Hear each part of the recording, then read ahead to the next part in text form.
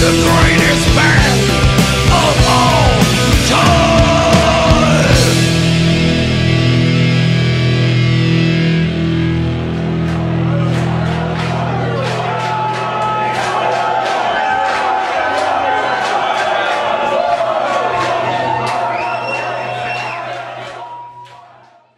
members of Arno Corps are based in Berkeley. They say while they appreciate all this attention, they have no plans to run for political office.